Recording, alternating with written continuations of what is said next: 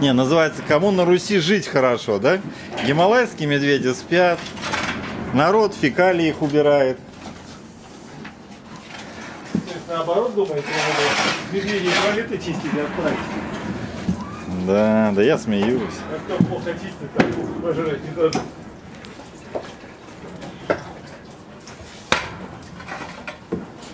Мишка спит. Я